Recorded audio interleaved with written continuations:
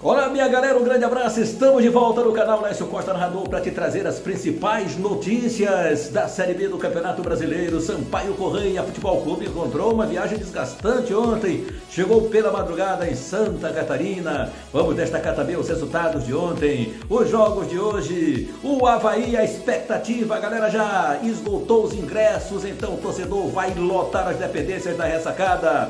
Libertadores tem decisão hoje. Estas e muito mais aqui no canal Lécio Costa Narrador. Estamos só começando.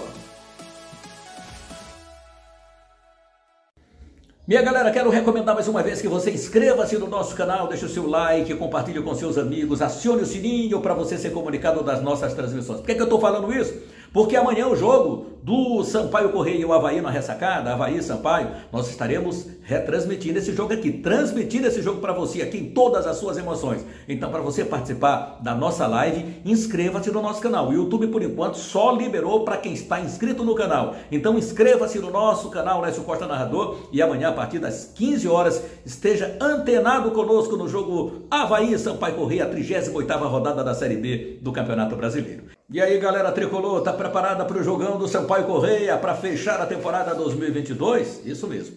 O Sampaio realizou seu treinamento final ontem. Posso dizer que foi o treinamento final, treinamento de bola para ajuste lá do técnico uh, João Brigatti, lá no CT José Carlos Macieira. Às 16 horas o time embarcou com destino a Floripa, lá em Santa Catarina, capital catarinense, só que ficou em Brasília e às 20 horas, quando o voo é, pousou, e depois permaneceu em Brasília, fez uma conexão às 23 horas e 30 minutos, com destino a Florianópolis, chegando lá a 1h30 e no hotel somente depois das 2 horas da manhã. Descanso total para a moçada, que ainda vai realizar hoje à tarde um treinamento leve é, para desintoxicação muscular no CT do Figueirense. Aí sim, o técnico Brigatti vai definir a equipe que entra em campo diante do Havaí na ressacada. Por enquanto, só aquela nossa especulação. O Sampaio Correia deve ter o goleiro Luiz Daniel, ou ele já confirmou o Maurício, esse está confirmado. O Maranhense Maurício na lateral direita, mesmo o Watson tendo se recuperado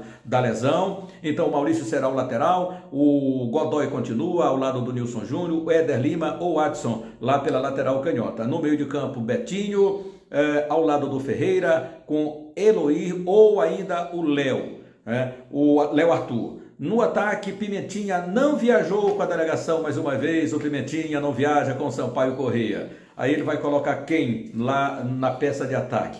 Pode ser o, o Jean, é, ainda centralizando o Ciel ou Jackson, e pelo lado esquerdo vai ter o Roney, que vem se apresentando muito bem desde que o Brigado chegou aí no Sampaio Corrêa. Esse pode ser o 11 do Sampaio Corrêa para encarar o Havaí, mas o Brigado disse que só vai mesmo divulgar momentos antes da partida. Há quem diga que o Pimentinha tem medo de viajar de avião. Será possível, Pimenta? Fala sério, meu brother Anderson. O negócio é o seguinte, galera. Será que aquela música do Belchior ela faz realmente sentido? Foi por medo de avião, aquele negócio todo, do Pimentinha. Mas é isso. Mas o Sampaio Corrêa tem é, um time forte para encarar o Havaí, mesmo sem o Pimentinha. O Brigado trabalhou bem a moçada para esse confronto e vai colocar a força máxima agora sem o Pimentinha, porque ficamos então cientes de que ele não viajou com a delegação tricolor. Por quê? Dizem mais uma vez problemas musculares. Mas o Havaí, a torcida do Havaí esgotou todos os ingressos da ressacada. A belíssima ressacada terá 100% de público, ou seja, 17.800 torcedores estarão lá nas arquibancadas, empurrando o time do Leão da Ilha para cima do Sampaio Correia para buscar o tão sonhado acesso, o seu retorno à elite do futebol brasileiro pela décima primeira vez. O volante Bruno, ele diz o seguinte, Bruno Silva, diz, olha, dá um frizinho da barriga. Aqui, véspera do jogo, nós temos que respeitar o adversário. É claro que a gente vai é, ser empurrado pela nossa torcida. Nós estamos focados em chegar à elite do futebol nacional e a força da torcida no, nas arquibancadas. O torcedor vai ser muito importante. O Edilson, por sua vez, que vai substituir ao lateral Jean, Ele diz que espera o acesso, já bateu na trave a primeira vez e agora, ele que começou inclusive nas bases do time do Havaí, é, teve fora, retornou para o Havaí e espera desta vez que tudo dê certo e que vai é, escrever o seu nome na história, gravar o seu nome é, como um dos maiores do time do Havaí. Então aí ficamos na torcida é, também é, por um grande jogo que possa acontecer que vença o melhor amanhã entre Sampaio Correia e Havaí. A gente sabe que CRB, que CSA, Guarani, todos estão apostando no Sampaio. Mas para que o Sampaio Correia faça a sua parte também, é, que o Sampaio vai fazer, eu tenho certeza, vai jogar o jogo, o time tricolor, tanto CRB quanto o, o, o CSA e o Guarani terão que fazer a sua parte, vencer os seus jogos, porque o Havaí depende só de si diante do time tricolor de São Pantaleão. Vai ser um grande jogo, eu não tenho nenhuma dúvida disso. E, e tem um árbitro bom aí para marcar esse confronto.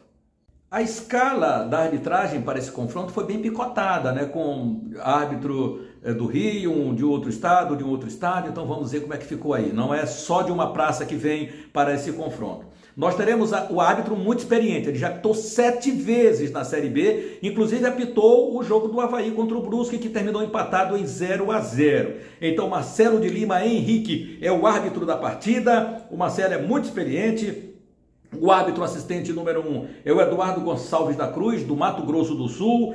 Aí, assistente número 2 é Márcia Bezerra Lopes Caetano e vem de Rondônia.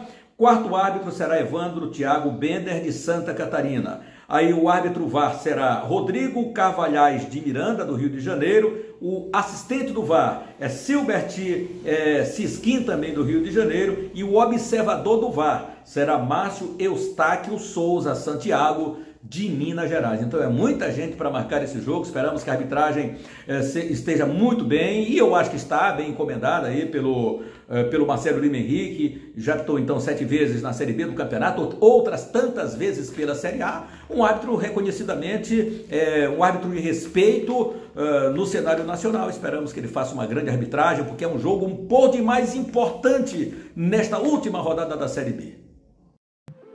Esses jogos, essa, essa última rodada, já tivemos dois jogos.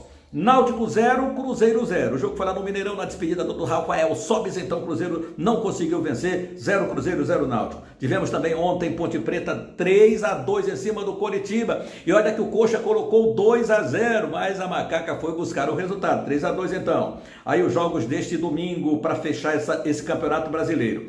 Vitória vai pegar o Vila Nova, o Vitória desesperadamente em busca da vitória, que jogo complicado. Havaí recebe o Sampaio Corrêa, jogo que nós vamos transmitir, o Havaí só depende dele. Operário contra o CRB, o CRB precisa vencer o jogo, se quiser sonhar ainda com o acesso. CSA contra o Brasil de Pelota já rebaixado, o CSA sabe que precisa da vitória e o jogo será no Rei Pelé. Londrina e Vasco da Gama, o Londrina joga no café, precisando também da vitória desesperadamente para cima do time Cruz Maltino. Goiás e Brusque só para cumprir, cumprir tabela, o Goiás já subiu. Botafogo e Guarani. O, o Guarani precisa da vitória, o jogo será no Newton Santos e o Botafogo comemorando o título, a festa do fogão. O Remo precisando da vitória só dele para se manter e aí rebaixar a vitória, rebaixar a Londrina, porque se o Remo vencer, já era para a Londrina eh, e para a vitória qualquer que seja o resultado. Então o Remo só depende dele dentro do confiança. O jogo será no estádio Baianão com casa cheia, derramando de gente. É isso aí. Então é isso, minha galera. Aqui os jogos de hoje pela série é B do Campeonato Brasileiro. Para esse confronto, Sampaio Correia e Havaí, ou Havaí Sampaio Correia, na ressacada neste domingo, o professor Bebeto Correia traz a sua expectativa para o jogo. A bola é sua, professor Bebeto.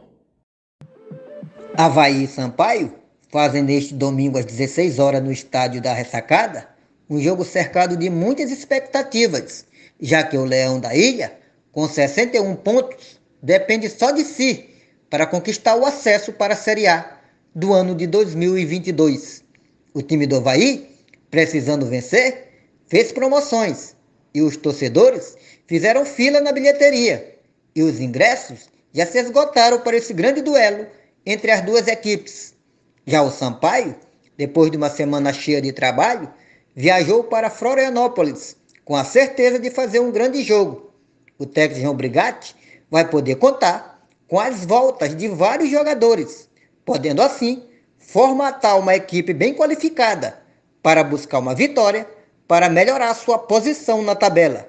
O técnico Claudinei Oliveira, depois de realizar hoje seu último treino, também já tem em mente seu time titular para buscar classificação.